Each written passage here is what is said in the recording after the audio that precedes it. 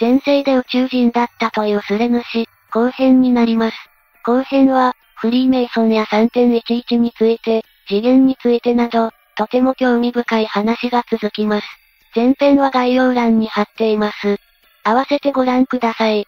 それではどうぞ。地球人に転生した宇宙人、後編。魂レベルを上げないといけない理由。削減施策とはどんな形で行われるんでしょうか？なんとなく、しまっちゃうおじさんも想像しましたが、ボノボノですか？懐かしいです。しかし生き埋めは怖いです。パンデミック、洪水などの災害、様々な計画があるようですが、実行されるときどのような形で、決定されるのかはわかりません。自分にとって削減の実行はネガティブ情報で、その層の情報取得は得意でないので、あまり正確ではないです。すみません。科学兵器の話について、自分もこんな話を何かで見た覚えがあります。魂は物理的な衝撃で壊れることはないが、科学爆発や太陽レベルの高エネルギーにさらされると消滅してしまう。しかし、ある産情報によると、消滅ではなく、重大な損傷のようですね。こういった情報は、一体どのようにして得たものなのでしょう？消滅された方もいたのかもしれませんが、そういう方には、その後お会いできないので、知らないだけかもしれません。宇宙人だった頃、宇宙人同士で話をしてると、前世の記憶が自分だけでなく相手のもわかる、っていうのが割と普通でした。魂の傷はどなたも、自分である程度直してから、次の世へ向かってるみたいです。なのでその中間世は記憶はありませんが、そこにかかる時間は傷の長さ分なのかな、と感じています。ここら辺は私の予想より、中間世に詳しい方の方がよく知ってそうな気がします。それなのに消えない魂のトラウマ、というのを抱えている方の多くは、青函戦争などにより、科学で粉々になったこと、だったので、誰か、ではなくそんなに皆が、トラウマになる出来事なんだな。と、自分にとっては、宇宙時代印象的だったことでした。皆様魂の修復に、あまりに時間がかかったこともショックだったみたいです。普通は約50年で転生できる。これも気になります。転生にかかる約50年という期間、具体的な数字を聞いたのは、初めてのような気がします。もしや生命の真理めいた何かをご存知ですか？生命の真理だなんて、そんなすごいことは知らないです。すごく単純な話で表紙抜けかもしれませんが、実感としての大体の数字です。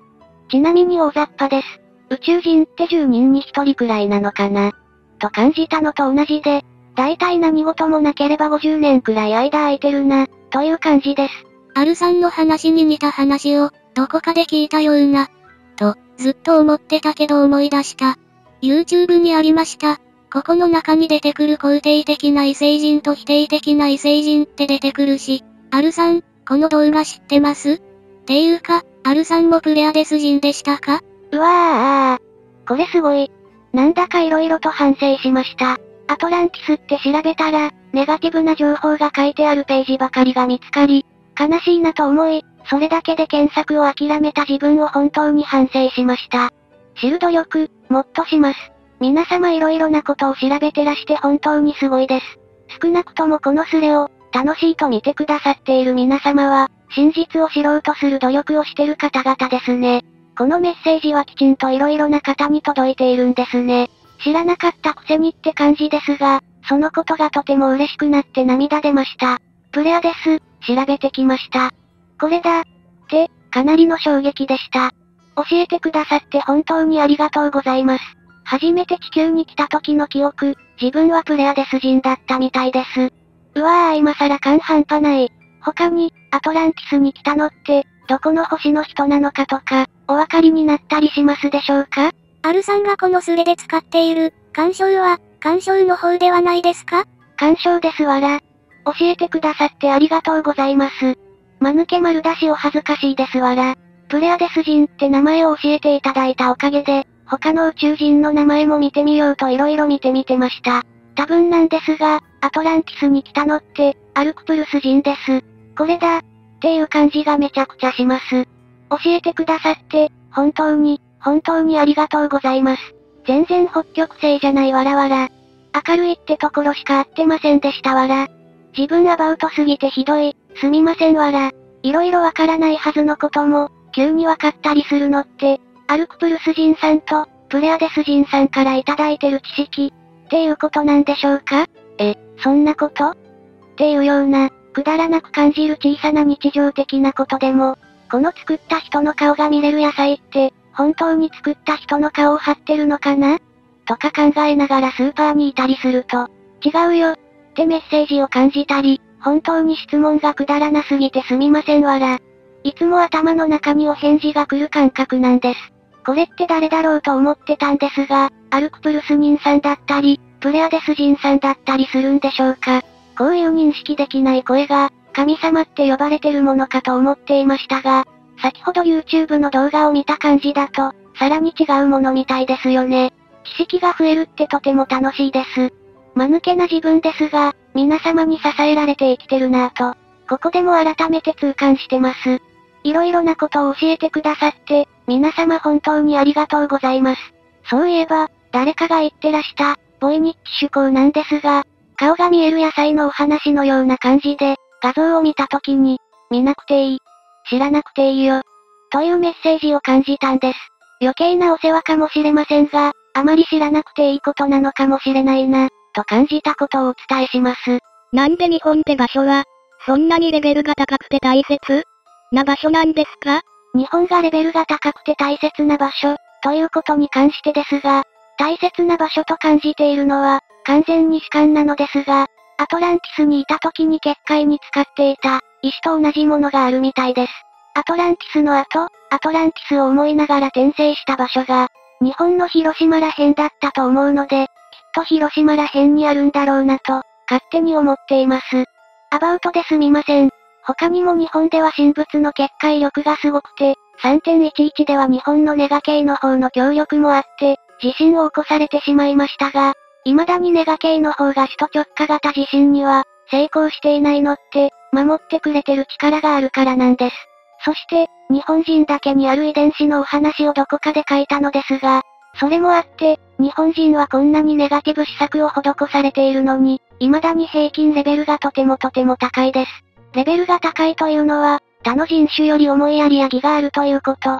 ネガ系の方はこういうものをなくして、鬱を蔓延させたり、レベルを下げたがっている。普通だったらアメリカの世界恐慌の時のようになっていてもいいはずの状況なのに、優しく強い日本人は本当に世界を支えています。全人口の平均レベルが下がれば下がるほど、ネガ系の方の目的、奴隷化や乗っ取りへの施策が進んでしまう。平均値が下がれば石が弱かったり、引きずられやすい人は、どんどんレベルが下がっていくので負のスパイラル。逆に、同じように平均値を上げれば、引きずられやすい人も、レベルが上がるので相乗効果。人と場所、どちらもこんなにレベルが高い、ある意味奇跡の場所だから、日本は大切な場所だと思っています。他の星から初めて地球に来た時のことですが、その頃から月ってあったんでしょうか月って人工物説とか、それこそオカルトな色々な話があるけれど、月って特殊な何かなんでしょうか月については、私も違和感を感じています。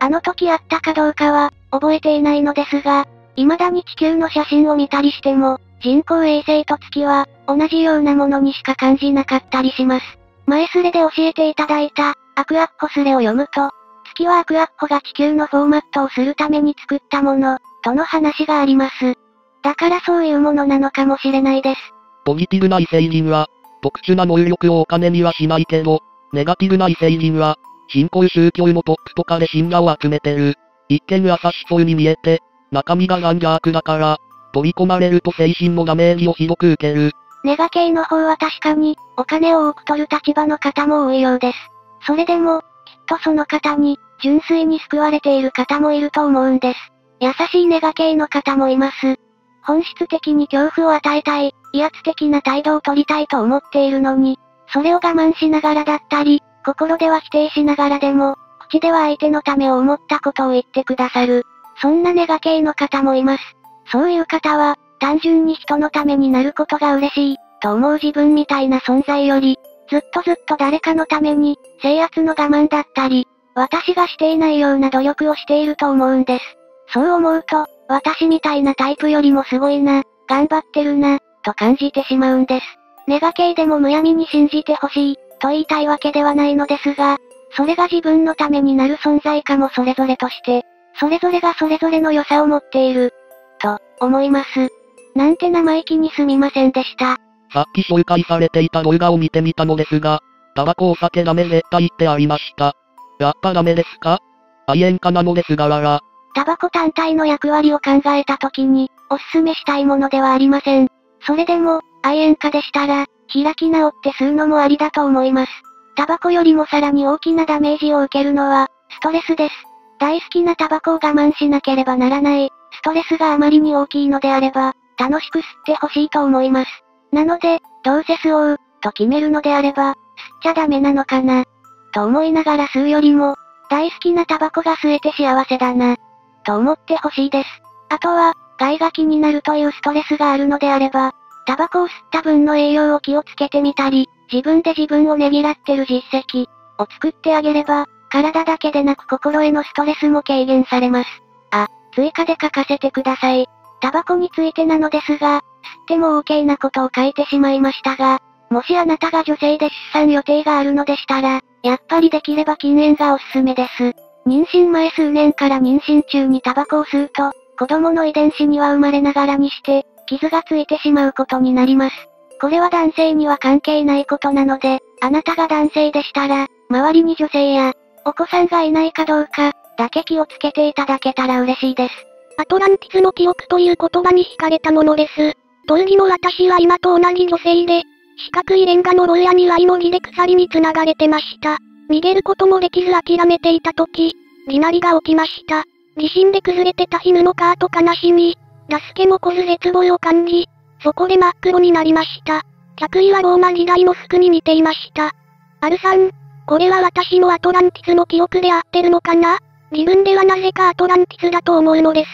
それはとても怖かった記憶ですね。魂のトラウマなのでしょうか？アトランティスだと感じるのであれば、そうなのかもしれません。すべて絶対こう、ということはわからないので、申し訳ないことにはっきりとお答えはできません。個人的に思ったことなので、雑音程度に聞いてください。まず前提として、そこがアトランティスだとして、あなたが長期にわたり縛り付けられていた、と仮定して考えてみました。そうだとしたら多分、あなたはアルクプルス人ではないということですよね。何かの罪に問われてしまった可能性もあるかもしれませんが、アルクプルス人がそんな罪を犯すとは考えにくいんです。そして全体の意識を共有できるアルクプルス人が、罪を誤解して捉えるとも思えないんです。では、あなたはアルクプルス人に捉えられた人間だったのでしょうか？それでも、アトランティスの結界の外へ追放すれば済む気がするし、アルクプルス人がそのような拘束の仕方をするか不思議なんです。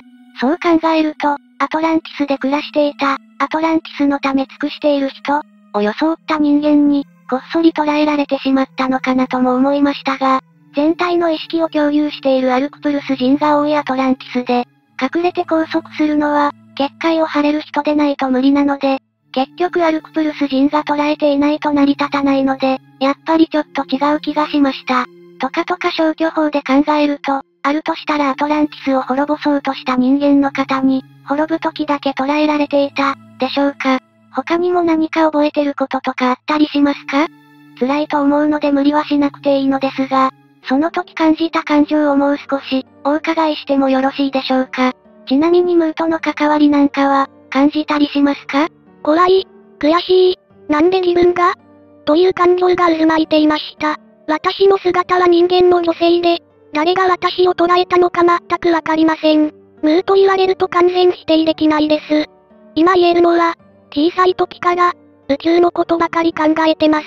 私の性格はプラス思考ではなく、次に生まれ変わったら地球は嫌です。元の場に帰りたいのに、そこがどこなのかすらわからないです。怖い悔しいという思いがあったのでしたら、その時人間だったのではないかなと思います。アルクプルス人はどこまでもポジティブな存在なので、アルクプルス人として滅ぶことができて幸せだ。もしこのまま3次元の地球に適応していっていたら、憎い気持ちや、怖い気持ちまでも持ち合わせていたかもしれない。3次元の地球へ来たのに、ネガティブな感情を知らずに終えられて幸せだ。この星に適応できなかった自分にも責任はある。感謝しながら滅べる自分は幸せだ。そんな思いを抱きながら、国と共に滅んでいきました。全体の意識から感じていた思いも、みんな大差ありませんでした。人間としてアトランティスにいたのなら、自分が思い浮かぶのは3択だと思います。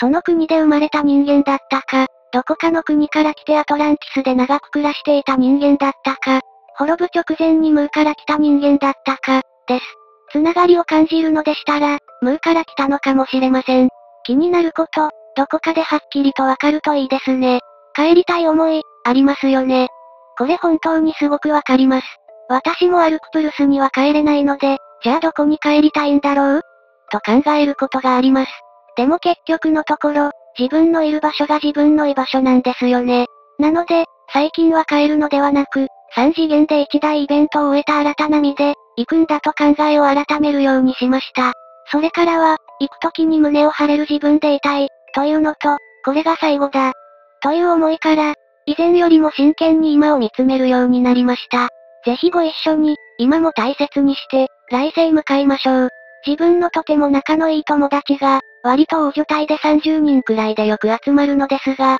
このスレを見てから気になって、そのうちの、20人弱をオーラとか見える人に調べてもらったんです。私は行かずに、行ってきて行って派遣しましたわら。結果は、そのうち10人、過半数以上が、チルドレン。パープルインディゴクリスタルのどれかでした。さらに面白かったのが、そのうち人間だったのは一人で、他は全員宇宙人由来でした。みんななんとなくですが、ああやっぱり？という感じでした。宇宙人の周りには、本当に宇宙人が集まりやすいですよね。グレイ系の方は、基本形が無、なので純粋無垢な存在みたいですね。素敵な方ももちろんいらっしゃると思います。性質的にはポジ系なことよりも、ネガ系なことに興味を惹かれやすい存在なので、できるだけ素敵なことにたくさん触れれば、純粋無垢な子供のような可愛い存在のままだと思います。純粋な存在は時に何より、恐ろしくもなってしまうので、地球における人間の存続を願う自分としては、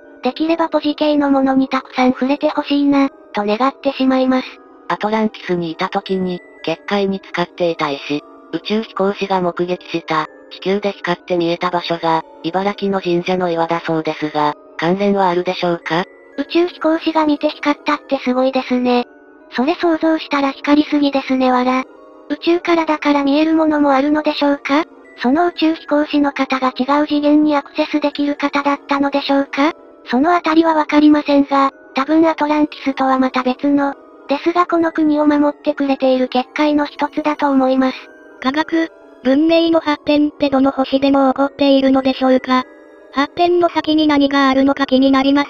恒久的な平和なのか破滅なのか。今の地球で起きているものは、資源も食い尽くすだけのように思います。科学文明の発展については、私がいた時は、自然との共存をしていた星もありましたが、そこも生還戦争でなくなってしまったので、今はどうなのかわかりません。ほとんどは地球よりはるかに進んでいると思います。その先にあるものについては、少し答え方が難しいですが、平和でもあり、破滅への道の一つでもあると思います。宇宙以上の存在ってあると思いますか？宇宙以上の存在については、それ以上でもそれ以下でもなく、ここ以外の別の宇宙がたくさんあると思います。そしてそれを思うと、一つの宇宙で右往左往してる自分は、こんなに小さな存在なんだから何だってできる。とか感じてしまいます。皆様からたくさんの情報をいただいたので、今世感じていることを何か書き込めたら、お返しになるかな、と思いましたので、日本の会社の夏休みについて書かせていただきます。日本の会社は、とても休みが少なく設定してあります。これもネガ系施策の一つのようです。リゾートという言葉をご存知でしょうか？語源は、リ、ソートらしいのですが、本来人間はリゾートが必要な生き物です。自分を見つめ直し、自分と向き合う時間です。これは最低7日間、1週間を要します。自分のことだけをねぎらって見つめ直してあげる時間が、1週間必要、ということです。できればその間は家事などの要件も、頭から除外できるのが理想的なので、自分を知る人がいないホテルなんかに泊まったりするといいです。つまり、日本の企業の夏休みのように、1週間しかないと、日々を追われていた人が、いきなり、夏休み開始から終了まで、何も考えず過ごすことは不可能に近いんです。実際きちんと見つめ直しを行えている方の夏休み期間というのは、1から2ヶ月のようです。データがあるらしいんですが、世界でもこれだけ夏休みが少ないのは、かなり珍しいらしいです。なぜ日本人に見つめ直しさせないようにしているかというと、日本人だけにある遺伝子の話を前に書きましたが、それもあって、日本人はとても思いやり溢れる人種だからです。他の国の方がリゾートをしても自分のことを頑張ろうとするので、ネガ系の方から見ても、そんなに問題はないみたいなんですが、日本人は他の国の方よりも驚くほど早く、人のために行動を起こします。そうすると相乗効果で日本人の魂レベル、日本という国のレベルが、あっという間にネガ系の方が手出しできない。手出ししてもダメージを受けない、ほどに上がってしまうんです。そして、国を超え、地球のレベルを上げてしまう可能性のある人種なんです。それを恐れられて、何重にも何重にも、レベルを下げる施策を施されています。ネガ系施策さっさと緩くなってくれ。ポジ系も人助けてくれ。どうせ俺は今の社会に問題があるのを知ったところで、何もできることはなくて、大気本願しかできないんだろうなあなたがすでにしてくださっていることは、たくさんあります。ネガ系施策の情報操作に踊らされず、正しい知識を得ようとし、さらには、ネガ系施策が緩くなってほしい。という思いを持っていらっしゃることです。そんなあなただから、何かをしたいと思ってらっしゃるのでしたら、さらにできることがあります。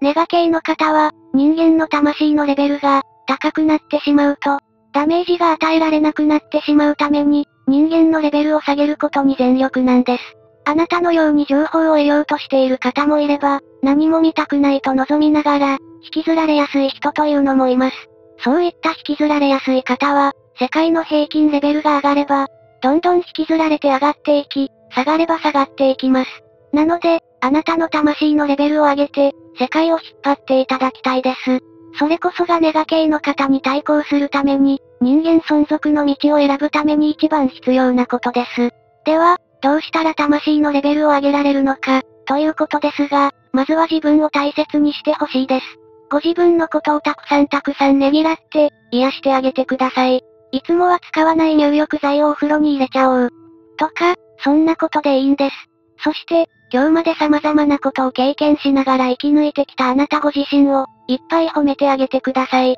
慈愛という言葉がありますが、まさにそれです。そして次に、満たされた状態で今あるたくさんの事柄に感謝を感じてほしいです。これも、美味しいご飯が食べれて幸せだな。とか、些細なことでいいんです。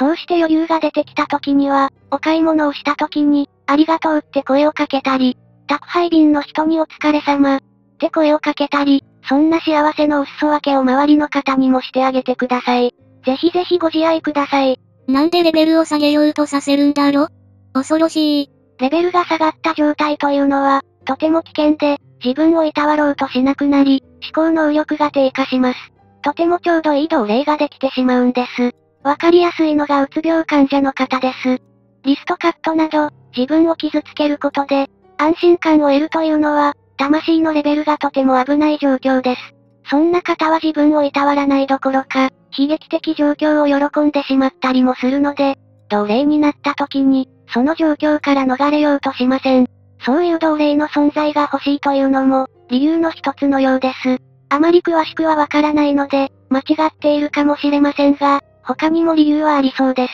爬虫類人にはレプテリアン以外にドラコニアンっ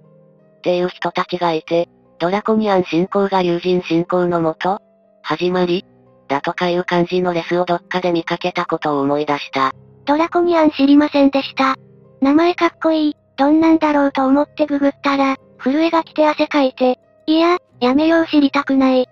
て声が聞こえたんで引き返してきました。そんなチキンはここです。キリ、ネガ系の方なんでしょうか。友人信仰というものがあるんですね。ドラゴンボールのシェンロンを思い浮かべてしまいました。私もアトランティスにいたらしく、中に半魚人がいると読める人に言われた。中とは、輪廻転生や分身分霊。イコール潜在意識だと思うんだけど、前世が半魚人は、ちょっと悲しすぎる。で、その半魚人は、サンリオの半魚論みたいな容姿で、遺伝子操作で作られて、6年くらいの寿命でバンバン繁殖されてたらしい。半魚人を持ってる人に、宝塚の人が多いとのこと。現世でヨットに乗って、水面がキラキラしてるのを静かに眺めるのが好きなんだけど、ちょっと大きめの船で、悲しい気持ちで、キラキラした水面を眺めて移動してる場面をたまに思い描く。これは、アトランティスが沈んで、船で逃げているところなのかな？前世が半魚人は、ちょっと悲しすぎる。というのを読んで、え、なんでだろう？と思ったんですが、半魚人というのはそういう存在だったんですね。知りませんでした。宝塚の方が多いというのは、宝塚の方でなくても綺麗な方が多いということなのでしょうか。自分は人魚のことも全くわからないのですが、人魚と半魚人はまた別の存在なんでしょうか。色々と気になってしまいました。自分はアトランティスと共に滅ぶことを選び、同じようにその場で、滅んでいくことを望んだ方々の意識しか共有できずに沈んでいったので、その後のことはわからないんです。すみません。アトランティスから生き延びた方なのでしょうか。何にせよあなたは海と縁が深いんですね。その読める人に色々聞いてた話なんですが、一つの星で60回転生して、次の星に行くらしい。私は、今、52回目で、あと8回で卒業。ナスカの地上へのいいスタートの。あと8回で回れるかな？次はアンドロメダあたりの明治時代の文明のところに行くらしい。一つ前と次に生まれる場所も聞いた。60回ってすごいですね。自分はまだそんなに転生したことない気がします。人間になってから、おそらく7回目くらいです。その前はアルクプルス1回、そのさらに前は、何回かプレアデス内で転生しましたが、とてもとても長生きだったので、記憶ある範囲ではそんなに何回も転生してない気がします。そして、誰かに見てもらったことはないのですが、これが最後、というのは今世強く感じています。来世はアルクプルス人の船で、異性へ完全に異性することはせず、船で旅人のようにしている生き残りの船がいる気がしてならないので、そこへ行きたいと思っています。ブラック企業をはじめとして、日本の同調圧力の会社環境って、本当に息苦しいなと思ってるんだけど、どう変えていったらいいかわからない。悔しい。現在のブラック企業問題は深刻ですよね。ですが、今日明日ですぐに、というわけではありませんが、これからの世の中は、時間をかけながら、もきちんと改善されていくと思います。こちらも魂のレベルの上げ方と少し似ているのですが、意識で改善されていきます。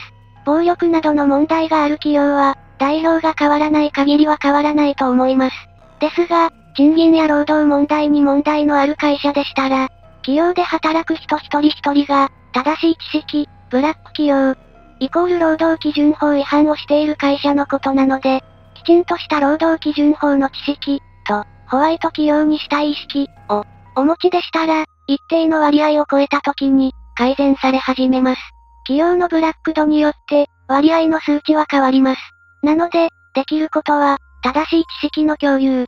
そして、ホワイト企業にしたいという意識の共有。です。ホワイト企業だった会社でも、社内労働者の意識と知識がないばかりに、社長の目の届かないところで、ブラック化してしまうこともあるので、一人一人の知識と意識はとても大切です。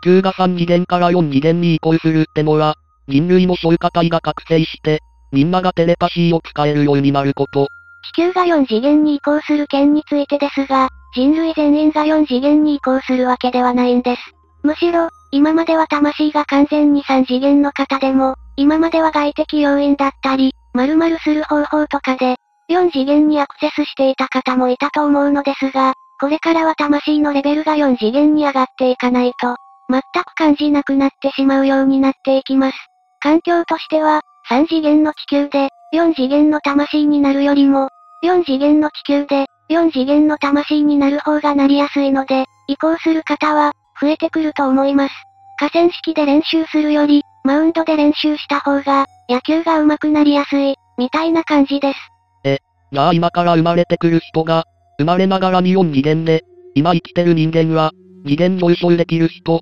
と多非沼で次元上昇できない人に分かれちゃうんですか？上昇できないと、置いてけぼりで寂しい、とかにならないでしょうか？物質的にというのか、肉眼で見たときに、3次元と4次元って、そんなに大きな差はないんです。自分は前6次元ら辺にいたので、そこは結構今と違いましたが、だからなおさらなのかわかりませんが、3と4次元の見た目的な差って本当にあんまりわからないんです。テレパシーができたり、全体の意識にアクセスできるので、自分の脳の中だけでなくもっと大きな意識から、インスピレーションをもらえたり、それによって新しい発明が生まれたり、もっといっぱいありますが、なんかそんな感じです。見た目に変わるのは、科学の発展、くらいでしょうか。でもこれって今までもあったことなので、そんなに差を感じない気がします。そして、今生まれている子も、生まれながらに4次元の子は、確かに今までより増えていますが、3次元の子もたくさんいらっしゃいます。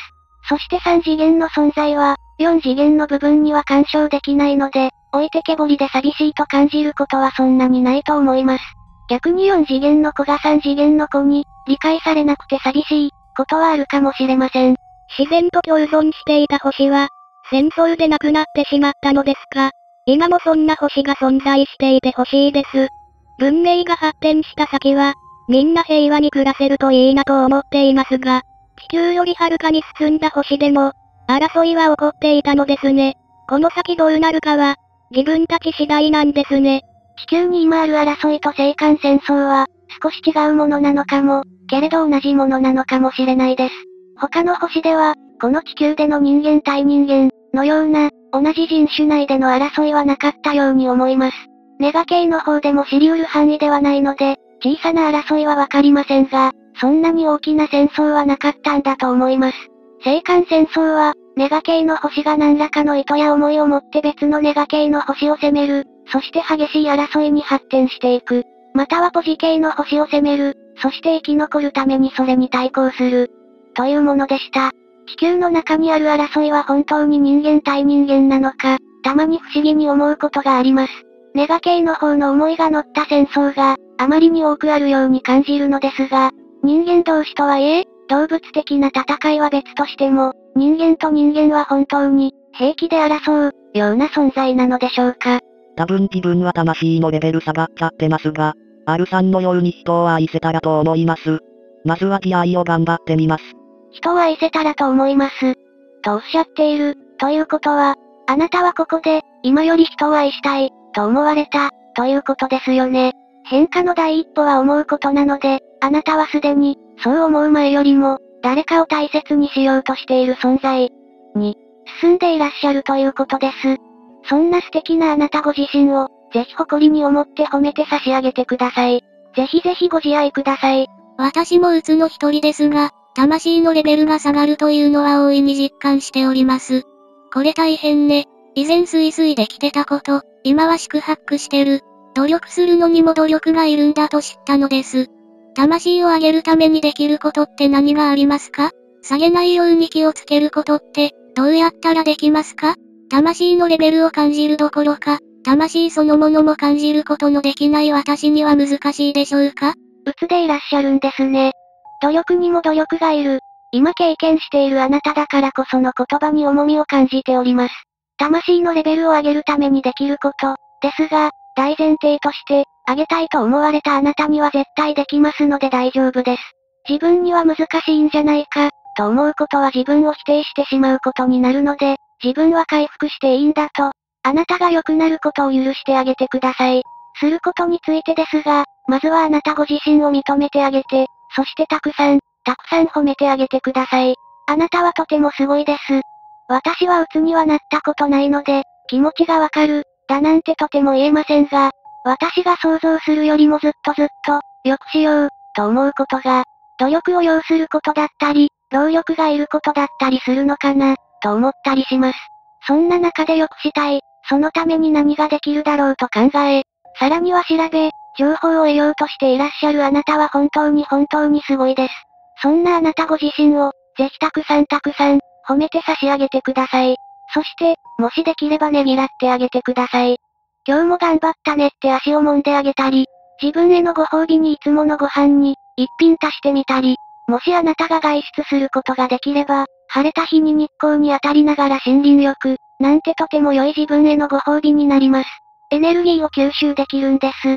外出することが難しければ、無理をすることは、逆にストレスになってしまうので、逆にしない方が良いです。何事もご自分の無理のない範囲で、できることをしてあげてください。そしてあなたが満たされたら、今ないことではなく、すでにある、事柄に目を向けてみてください。ご飯が食べられて幸せだな、とか、そんな感じで、どんなに小さなことでもすでに、ある、事柄をたくさん見つけて、感謝を感じてみてください。慈愛という言葉の意味の中に、健康的な生活をするという意味もあるようなのですが、もしできるのであれば、食事や睡眠の質を上げるようにしてみるのもとても良いです。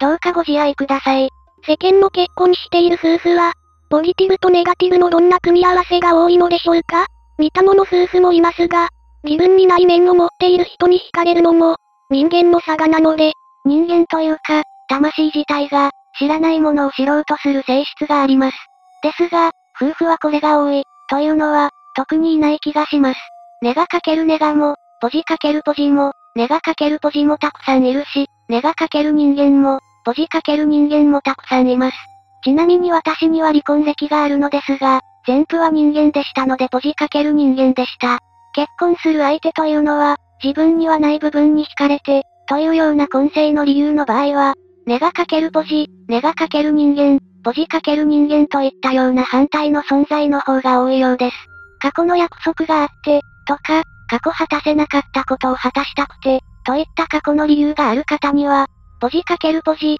ネガかけるネガ、その過去が地球での転生中のことであれば、ポジかける人間、ネガかける人間、が多いようです。ところでイルミナティって、今2種類いるみたいだけどどう思う？やっぱどっちのネガイルミナティ知らなかったので、ググってみました。ですが、検索ページ出た瞬間に怖くなって消しちゃいました。画像とかちらっと見えちゃったのですが、三角に目のマーク？のやつ？あれ見たら震えちゃって、未だに手に汗握りながらバクバクしてます。2種類、何が違うのかとか、どんなのがいるのかとかまでたどり着けませんでした。すみません。ネガ系な気がしますが、あのマーク以外のイルミナティっていうのもいるのでしょうか。っ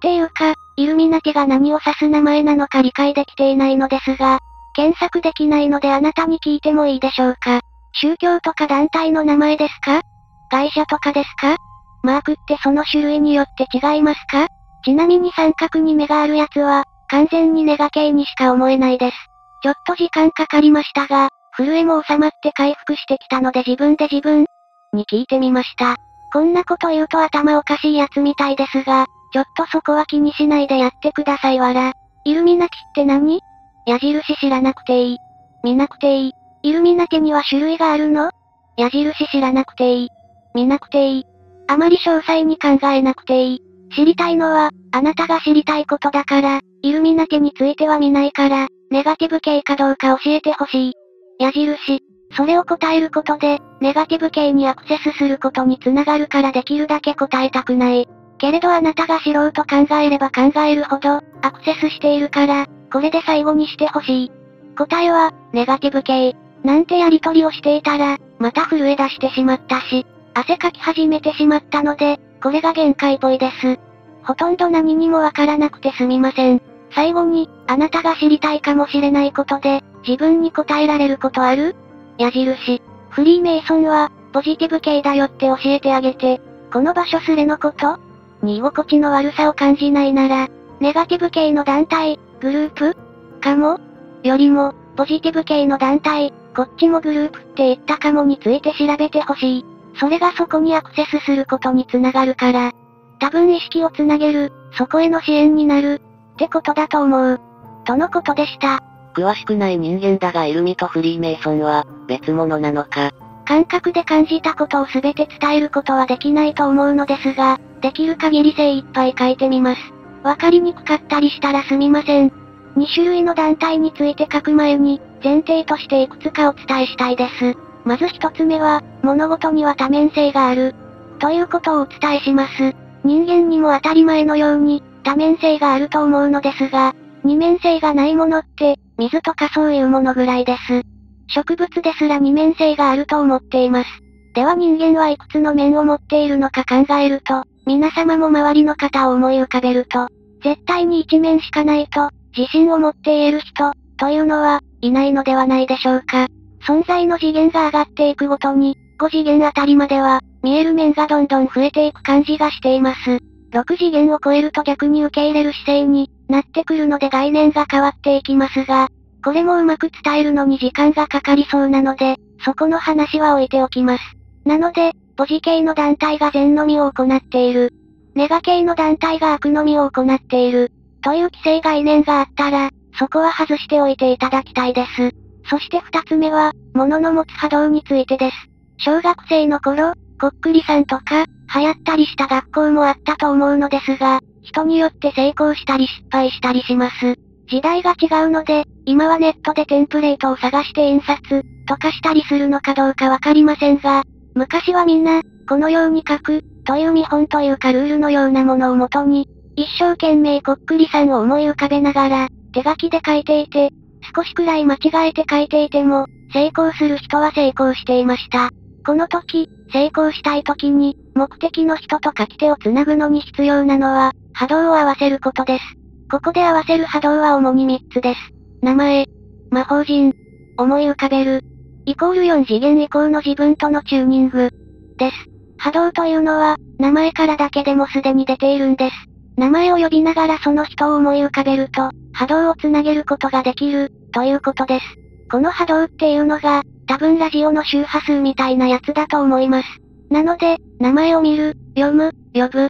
図形を見る、書く、思い浮かべる、こういったことをするだけで、そのものの波動を感じたりするわけなんです。実際には他にも色々あるわけですが、大雑把に3つです。でもこの3つは大きいと思っています。自分はこうしてネットの検索画面とかだけでも、嫌な感じがする、とか思ったりするわけなんです。Google を使っているので、画像の候補もいくつか出てきてしまいますし、逆に、匿名掲示板だと波動のつながりが弱いので、皆様の名前もわかりませんし、本当に何を知りたいと思っているのかが、読み取りにくかったりするんです。なので、書いてくださった方に、思いが届いたら嬉しいな、と思い浮かべながら書いてはいますが、本当にきちんと聞きたいと思われたことに答えられているか不安。というわけなんです。そんなこんなで長くなってしまいましたが、まずは、二つの団体のシンボルマークは、どちらも三角2目、ということについて書きます。昨日結構ダメージを受けてしまって、ずっと微熱状態なので、もう名前を書くのはやめておこうと思います。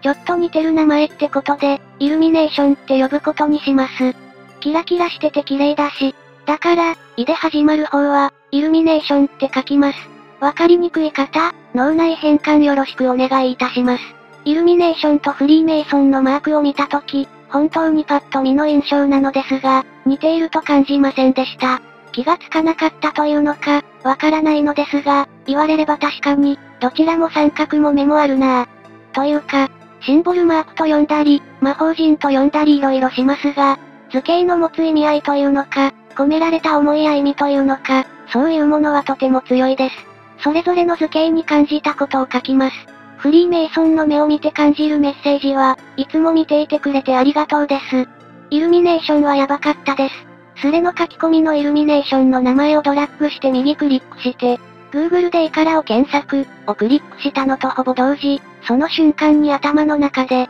見てはいけない。この目に見られてはいけない。と警報が鳴り響いて、反射的に開いた瞬間ウィンドウを閉じた感じです。今のところこのスレで感じた、嫌な感じダントツ1位です。あの目に見られた時のお感は、もしかしたら、今までで一番かもしれないです。団体の活動について、昨日から今日にかけて聞いたことをまとめてみます。ニュアンスの間違えているところだったり、勘違いしているところもあると思うので、すべてこれだけが正しい、とは思わないで、一つの情報、そんな考え方もある。程度で見ていただけたら嬉しいです。世界のポジティブな団体の活動と、ネガティブな団体の活動について書きます。ポジティブな存在の方が、技術力や知識だけは高かったり多かったりするんですが、どうしても見せ方だったり、カリスマ性だったり、人を引きつける力だったり、そういったものは、ネガティブ系の方の方が圧倒的にあるんです。なので、今まで世界の宇宙人が、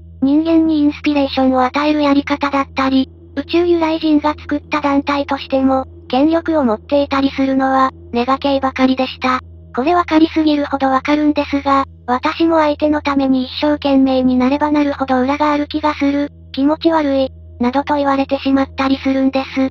そこでネガ系の方が、うまくそういう不信感をつついたり、うまく自分の株を上げるための発言をしたりすると、ポジ系の活動は、世の中から見たとき、悪にされてしまうんです。悪いことしてなくても、一般的にはそうされてきた、ということが多かったようです。テレパシーや全体の意識を共有できる存在で、自分のための努力が苦手なので、自己弁護は苦手分野なんです。そんなこんなで、怪しい小さな宗教、と言われている中には、ネガ系のものだけでなく、完全にポジ系だけからなっていたものもあるようです。しかし、ネガ系は人間の中でも圧倒的に、人間としての権力もつけていったようです。そこでポジ系の方は考えました。自分たちだけで、活動していたのではダメだ。こうして、人間のために活動をしていたポジ系宇宙人だけでなく、理由は違えど、同じ目的のネガ系宇宙人とも一緒に活動をすることにしました。それは、人間のためではないけれど、今権力を持っているネガ系宇宙人には反対派のネガ系宇宙人です。こうしてネガ系宇宙人と手を組み協力し合いながら、やっとポジ系の団体も人間としての権力を持つことに成功しました。それがフリーメイソンのようです。なので、フリーメイソンには、ポジ系宇宙人だけではなく、ネガ系の宇宙人も多くいるようです。初期のメンバーは目的は違えど、目標は同じ仲間だったのですが、団体なので仕方がないことに、スパイとして加入を希望するネガ系の方が出たり、ネガ系の方なので、加入した後に敵対していたネガ系の団体に見入られてしまったり、そういったエラーが後を絶ちませんでした。しかしポジ系は考えました。自分たちではネガ系が、どんな活動をしたいと思い、どのような行動をとるのか考えつかない。それならば、基本体制受け入れる、ことしかできない自分たちの特性を活かし、このままネガ系の活動をしようとしている人を、受け入れたままとし、せっかく手元で動いているのだから、その行動を細かく観察し、それを元にデータを作り、予防策を考え対応策を立てていこう。そうしてポジ系の団体でも、ネガ系メンバーがネガ系の施策を施しているのを、黙認している部分もあったようです。すべてのネガ系施策をなくすなんてことは無理だから、大切なのは目標達成、人間存続と、そこをずらさずに、考えた結果だったようです。そして逆に、ネガ系の団体が行っている施策として、ネガ系施策を隠すために、別のネガ系のおとりの事件を起こして、隠す場合もあれば、ネガ系の団体が本当のポジ系施策を施し、その合間にネガ系施策を、気づかれないように埋め込むことで、受け入れられやすいように、ネガ系施策を混ぜ込まれているものもあるようです。ネガ系団体が行っているポジ施策は、目的は怖いかもしれませんが、行っている内容は本当にポジティブで、人間のためになっていて、素敵な施策だったりするようです。はじめに、物事には多面性がある、ということを書きましたが、そういった理由は様々ですが、ネガ系団体が、ネガ系施策を受け入れられやすくするために、行われているポジ系施策、ネガ系団体が、本来のネガ系施策を隠すための、おとりのネガ系施策、ポジ系団体に入り込んだ、ネガ系宇宙人が起こしたネガ系施策、ポジ系団体が本来のポジ系施策を施すために、黙認することにしたネガ系施策、などなど、思いと施策と出来事、団体がとっている行動などなど、様々な思いが複雑に絡み合って出来上がっているので、ポジ系の団体がポジ施策のみを行っているわけではないし、ネガ系の団体がネガ施策のみを行っているわけではない、ということなんです。なので、ポジ系団体フリーメイソンも、自分たちの行動をすべて支援してほしい、なんてことは全く思っていないようです。むしろ自分の身を守るために、自分たちにも警戒はしていてほしい、という思いを感じました。そんなこんな書きましたが、すべての出来事の裏を考え始めたらキリがないので、全部考えなくていいと思います。大切なのは今目の前にある事柄の目的よりも、これは本当に自分のためになるのか、今の自分に必要なのかと、目の前にある事柄を、自分と相談しながら良いものを取り入れて、悪いものでも自分に必要な場合は、一時的でも受け入れたり利用して、結果、最終的に自分を守っていければいいと思います。すべてのネガ系施策から逃れようとすると、農薬ついた野菜は食べない、テレビなどの電子機器は置かない、利権の絡みから逃れるために電気ガス水道は使わない、と極端な話し、仙人のような生活をしなければいけなくなってしまいます。ポジ系のものが全て必要かといえば、いらないものはいらないし、あるもの、必要だと思うものの中から、選ぶ力が大切だと思います。そしてシンボルマークについて追加で書きます。会社のロゴだったりブランドのロゴだったり、そういうものでも、見ていいものだ、と思えるマークは、良いデザインのものではなく、会社やブランドの思いと、目的を図形に表すことができたデザイン、のものみたいですが、宇宙人由来だったり、宇宙人が作ったマークは、とてもよくできているようです。ただの図形というよりも、魔法人みたいな力を持っているというか、言語が違う人種にも思いや目的を、そのまま届ける力を持っているようです。そのまま全ての思いなのか目的なのか、それが全て届きすぎるのは危険みたいです。理由よくわからずです。こっくりさんの図形も、こっくりさん像も、簡易版なのと同じ理由らしいです。そう言われても、自分には、余計わけがわかりませんでした。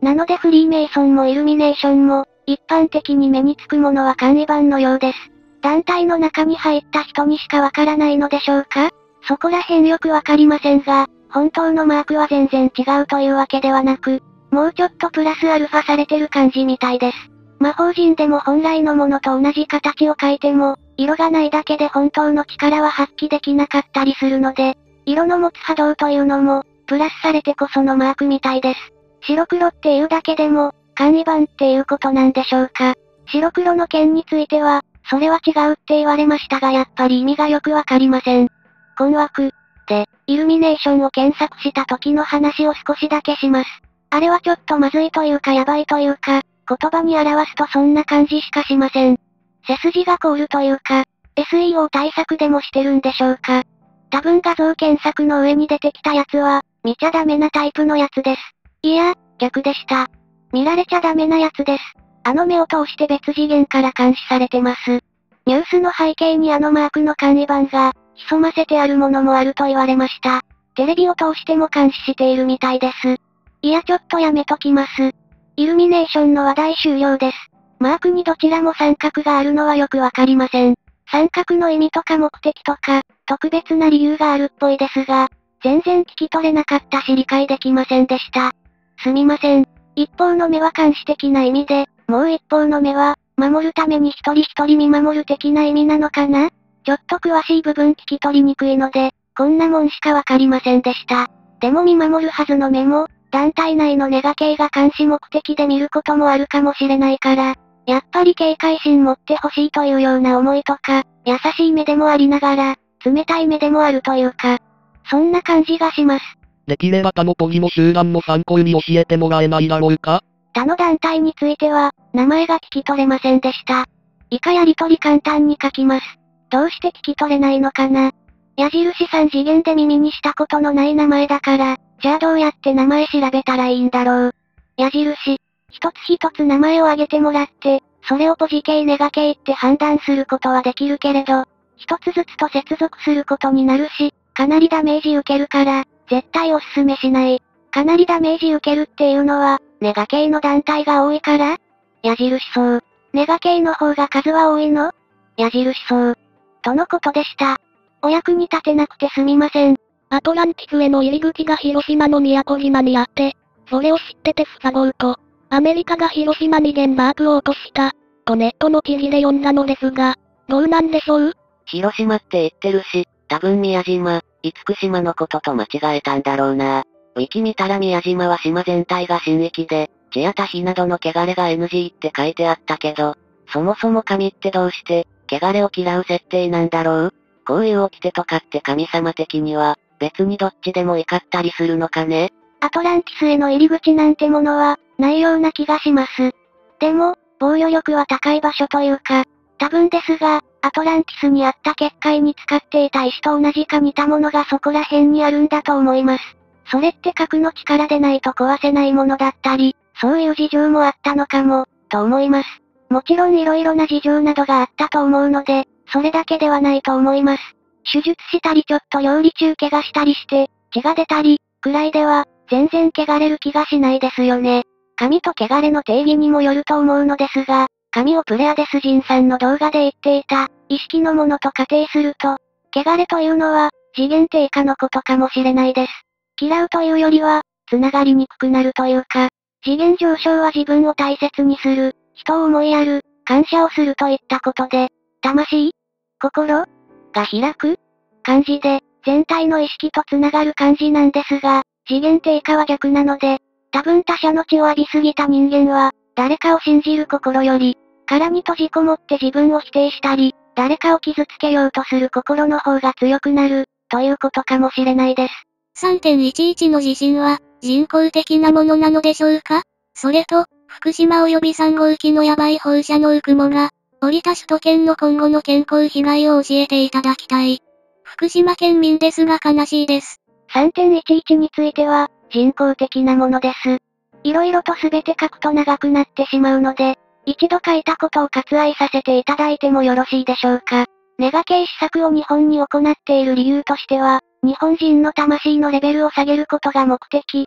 他にもあるとは思いますが、私のわかる範囲では、らしいのですが、科学により被害を受けた魂は、魂回復のために普通のスパンで、転生することができないんです。回復に時間がかかってしまうため、普通より時間がかかる。多分レインボーチルドレンが、世の中に出てくるときに、日本人の魂に転生して欲しくなくて、行っている施策なのではないかと思います。今後の、ということになると、様々な思いが絡み合って、これからも様々な出来事が起こると思うので、私は予言というものができないんです。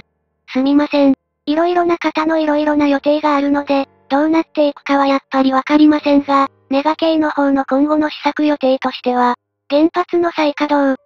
福島の放射線量がアウトな瓦礫などを全国にばらまいて各地でも被爆してもらう。ポジ系の方の今後の施策予定としては、除染の進行。日本人の病院での内部被爆検査の徹底。太平洋側の魚を禁止。福島の封鎖。などなど、それぞれがそれぞれに、進めたい予定があるようです。しかしどれが執行されていくかどうか、このまま良い方向へ向かうのか被爆が進むのか、色々な方の思いも絡み合うために、私には予想ができません。きちんとお答えできず申し訳ありません。私はムーの出身です。私がムーにいた時は、アトランティスと交流がありました。行き来自由で平和でした。でも、アトランティスとムーの戦争とか書いてあったりするのを読むと、悲しい気持ちになったり、戦争なんてあったっけ？本当かな？と思います。あの時はみんな仲良しでした。このスレを読み続けていてあの時が懐かしいという感情に最近浸らせてもらってます。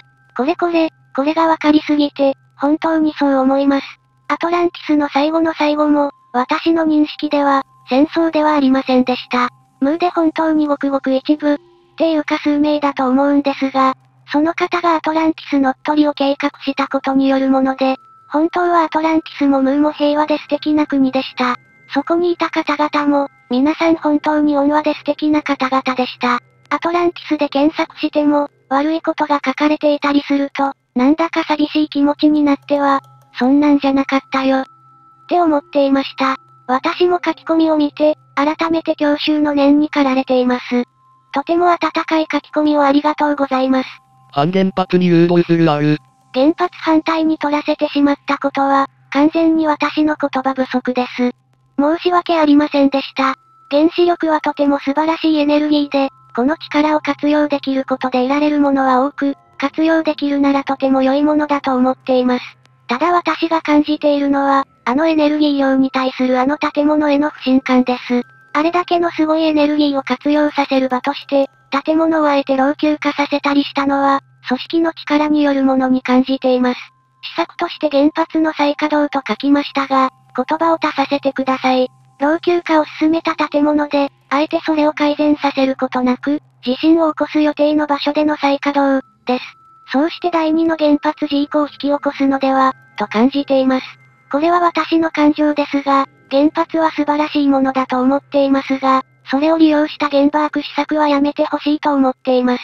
アトランティスの最後の最後も、私の認識では戦争ではありませんでした。ムーで本当にごくごく一部、っていうか数名だと思うんですが、その方がアトランティス乗っ取りを計画したことによるもので、本当はアトランティスもムーも平和で素敵な国でした。アルさんごめんなさい。私はその計画がピンときませんでした。アトランティスもムーもなくなったのは、神慣れが原因だと思ってます。すみません。乗っ取りは本当に考えれないです。穏やかな気持ちでいろんな文化を見たり体験したりしてた感じです。共存というか、お互いになくてはならない国同士みたいな感じです。調和でした。感謝の波動でいっぱいでした。当時ムーとアトランティスがお互いに、感謝の波動でいっぱいだったのは、よくよく覚えています。最後の時については私の認識なので、また悲しい思いをさせてしまうかもしれませんが、ムーの方ではなかったのかもしれないということをお伝えしたくて、私の認識を一通り書かせていただこうと思います。とても強いコンプレックスを抱えた魂の方がムーからアトランティスに来た。その方はコンプレックスはあれど、綺麗な魂の方だった。その方のコンプレックスを利用した方が、アトランティスの波動を中から乱れさせるようにした。利用した方はムーにいて、他のムーの人を憎んでいた。それか、ムーの人を殺めていたそういう魂の人だった。という感じでした。認識違いや思い込み、勘違いなども大いにあると思います。そして、神慣れもググってきました。亡くなった原因として、そちらの方が原因だったのかもしれません。沈む時に、これ以上元の自分の存在から離れずに、これ以上感謝を忘れずに済んでよかった。と感じていたことを覚えています。赤子は魂レベルがマックスの状態で生まれ、そこから年を重ねて多日に近づくまでにだんだんと下がっていく。不慮のギーコや病気などに魂レベルの関連はなく、もともとがそういう風にできている。そう認識している。魂レベルは、赤ちゃんから亡くなるまでに、だんだん下がっていくとのこと、同じように認識しています。誤解をさせてしまう書き込みをしてしまって申し訳ありませんでした。書きたかったのは、そのマックス時の値は、人によって違うということと、レベルが下がるスピードも、3歳までに直接魂が大傷のつき方も、人によって大きく違うということでした。今日は多く疑問点を書いてくださっていた、ポジティブネガティブという言葉について、そして書かせていただいていたポジティブ、ネガティブとは何なのか、ということについて、書かせていただきたいと思います。そもそもの言葉の定義として使わせていただいていた意味合いとしては、ポジティブ、イコール肯定的、積極的、ネガティブ、イコール否定的、消極的、という意味でした。本来の意味からそんなに離れた使い方はしていないのではないかな、と思っています。そして、単語が良くないのではないか、ということもありましたので、今日お答えする部分については、ネガポジ表記をいたしますが、今後は、ポジ系宇宙人、矢印5次元ら辺の宇宙人、ネガ系宇宙人、矢印4次元ら辺の宇宙人、と書かせていただきます。こちらはそういう方々がいる次元の数字場所？に自信がないために、ネガ系ポジ系と書いていたので、間違っていたりしたら申し訳ありません。ここまでネガポジ表記で書かせていただいたことは、大まかに分けると、ポジ系、ネガ系の宇宙人について、ポジ系、ネガ系宇宙人、または宇宙由来の団体について、ポジ系ネガ系宇宙人の施策について、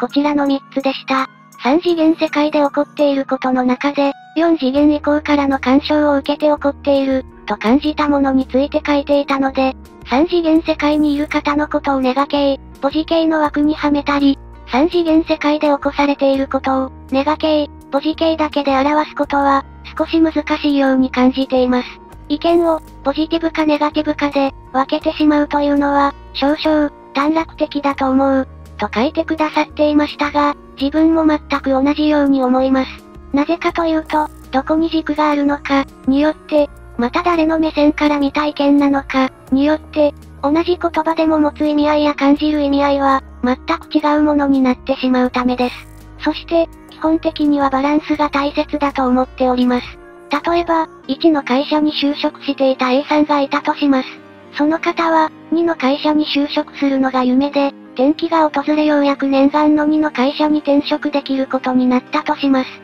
その時、同じ1の会社の同期の B さんに、お前はこの会社に必要な人間だから、一緒に頑張ろう。と言われた場合、A さんにとって大切なことは、2の会社に転職することなので、B さんのこの言葉は A さんにとって、今の自分に対して、ネガティブな情報、になります。そして次に、2の会社での仕事が始まった時、2の会社の先輩 C さんに、お前はこの会社に必要な人間だから、一緒に頑張ろう。と言われた場合、C さんのセリフは A さんにとって、今の自分に対してポジティブな情報、になります。同じセリフだったとしても、自分の状況によっても大きく違うものです。なので、やっぱり簡単にネガ、ポジだけに分けるのは難しいと感じています。では自分は何に対して、ネガポジを分けていたのか、ということについて、大きく誤解をさせてしまっておりました。あまり長くなっても良くないかと思い、さっぱりまとめていましたが、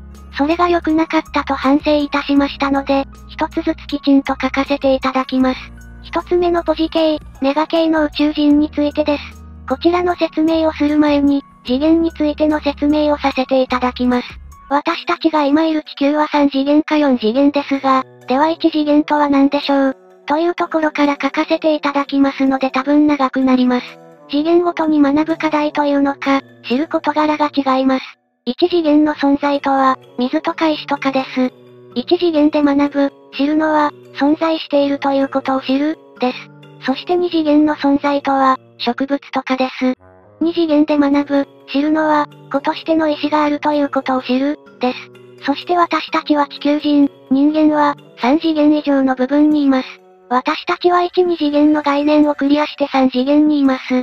3次元の人間でありながら、自分が存在していることが理解ができない。人に意志があることが理解できない。という方はあまりいないのではないかな、と思います。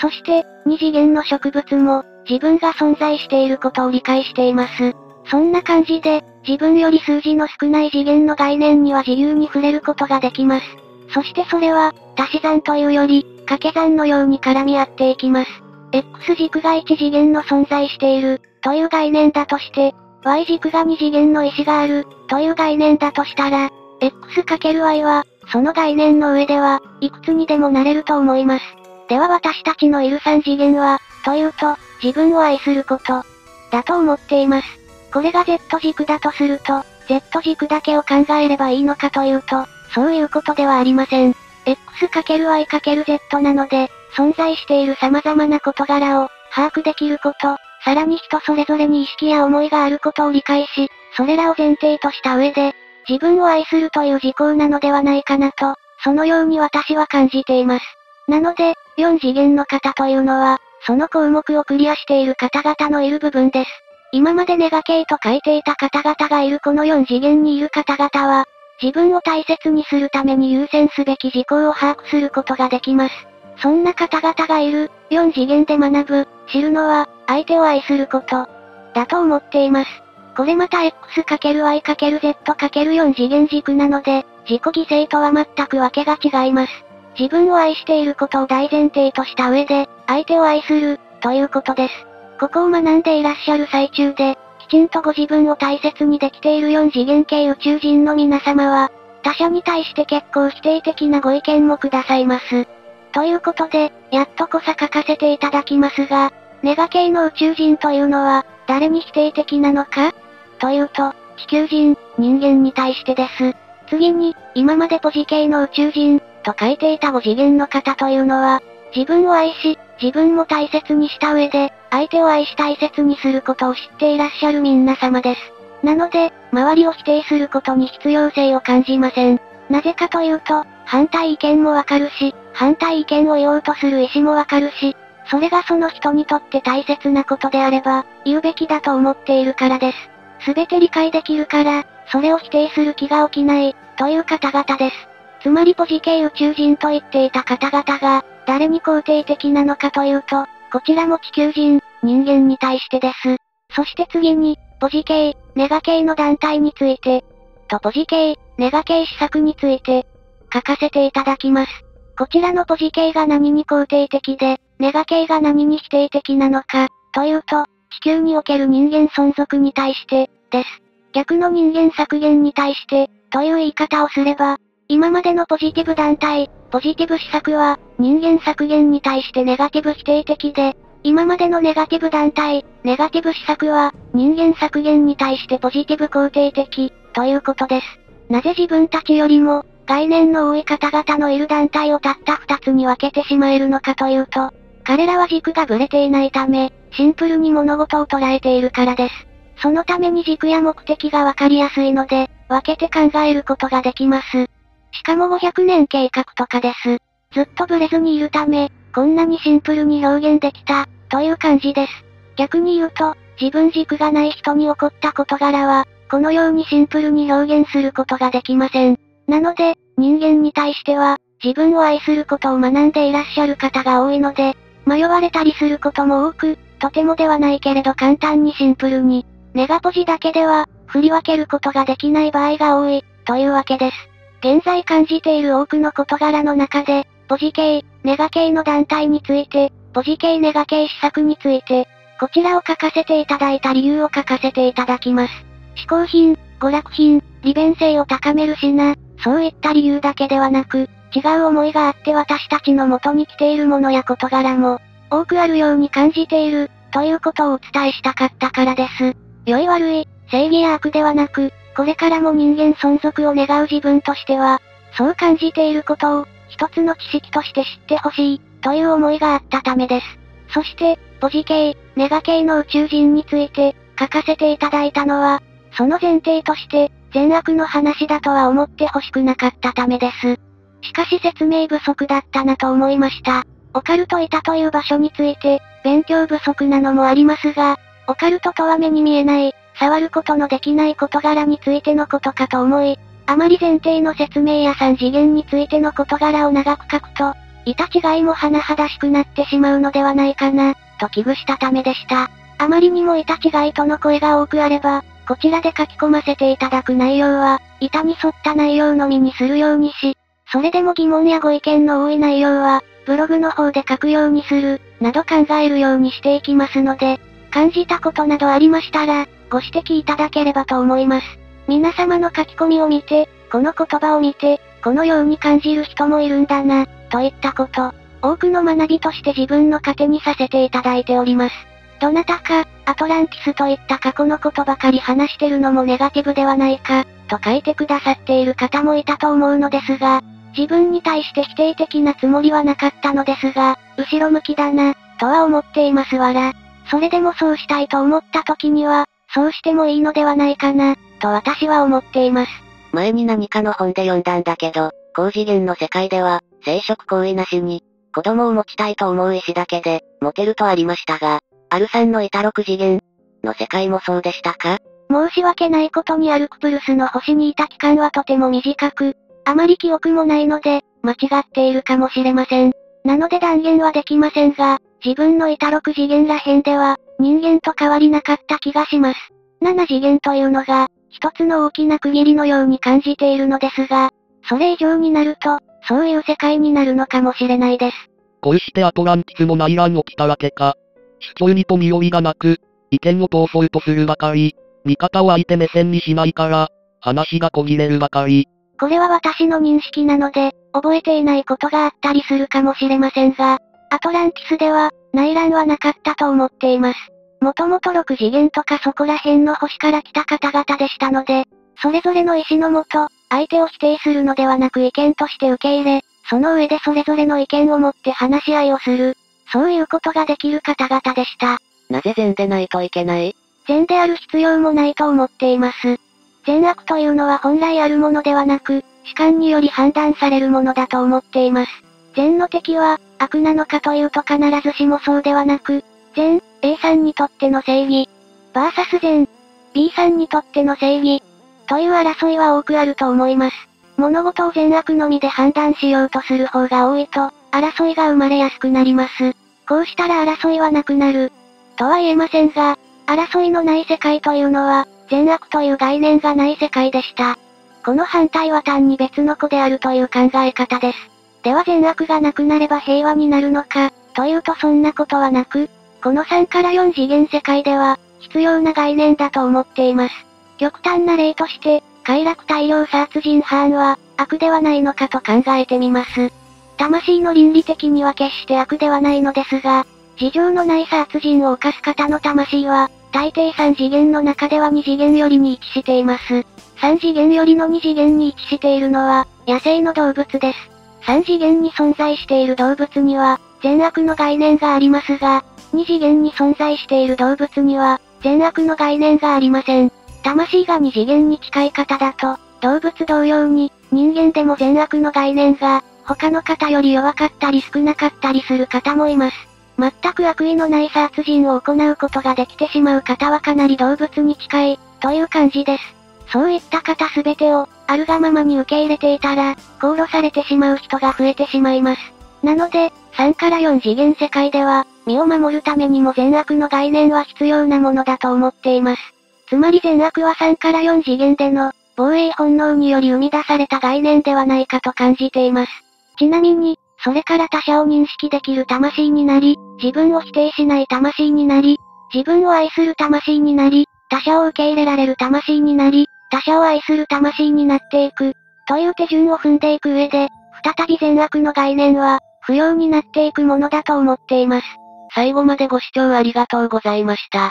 チャンネル登録お願いします。